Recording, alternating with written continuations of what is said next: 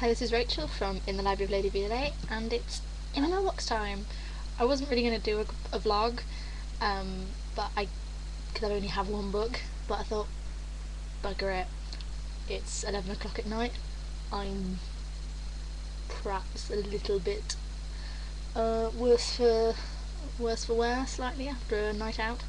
Not very much of a night out, I don't do full on club trawling, but yeah, bit of alcohol. But anyway, yeah, one book. And I received this earlier this week because um, I won it from the LibraryThing um, early reviewers scheme. And I won, already won a book by this same author, which I need to read and review. But I've been sort of putting it off because it's the third in the series, but I'll have to get to that soon. But this sounds very interesting. It's called Ghost of a Chance by Rhiannon Lassiter. Uh, I think it's basically the tagline saying, "How do you solve your own, own murder?" Sort of girl who ends up dead and is is like now kind of haunting this world and trying to find out who killed her. So it sounds quite interesting. It's it's like about 350 pages long, and the other book I've got by her is like a dystopian. Um, I think they're British novels as well, but hmm. so they sound sounds quite interesting. So I might get to this soon because I'm in the mood where I don't really want to be reading sort of YA contemporary or YA paranormal because the romancy stuff.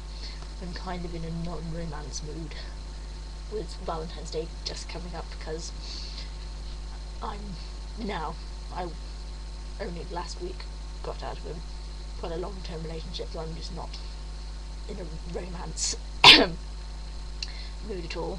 Like reading hardcore fantasy and stuff, and maybe try rereading reading the Brent Weeks um, Shadows trilogy or something like that. Whatever it is. I'm rambling. I'm tipsy, so I'm rambling. I'm sorry, but yeah. Um, also, I shall point out that there probably won't be any my mailbox next week because because this is February and I don't have a job. I'm now calling this frugal February, where I'm not buying books. I kind of can't afford to right now, so I'm I have like nearly 200 books that I already own, which I need to read. So I'm not going to be buying books this month. Might borrow some from the library um, to sort of support the libraries a bit, but I probably won't do. I won't be doing my melts next week anyway because I'm going to be busy most of next weekend because I'm going to see Russell Howard with my sister. Yes, if American people don't know who he is, he's a comedian. He's got a wonky eye, he's so adorable. But yeah, so yeah, apologies for my strange demeanour. Um, if anything does happen to turn up, because I might don't know if I'm going to borrowing any books or anything from certain people. If they want to lend me books, that's fine.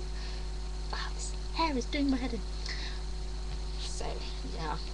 Might do some vlogs at some point during the week, maybe just for randoms, just because I haven't made a video in a while.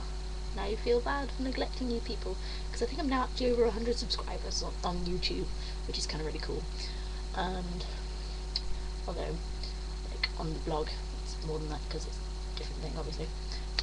And also, I should also point out that I've still got a um, contest running for my blog anniversary because it's running from January the 16th to February the 16th, so you've still got about a week or so to enter, and it's international. You can either win a copy of Last Sacrifice by Richelle Mead or Crescendo by Becca Fitzpatrick, and if I get the seven more people um, to get to 300 subscribers on Blogger, I will add third pri a third prize to the pack which will be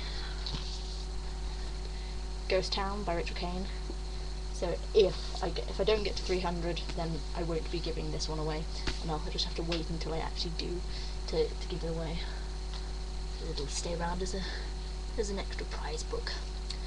But yeah, I'll put a link in the doobly doo to that contest, and it'll since this will be blog will be around this hopefully. Um, I'll link to the post and it should be on the top of my blog anyway. So yeah, I have just the one book and I've managed to ramble for five minutes. This is quite good. But anyway, what have you got in your mailbox this week?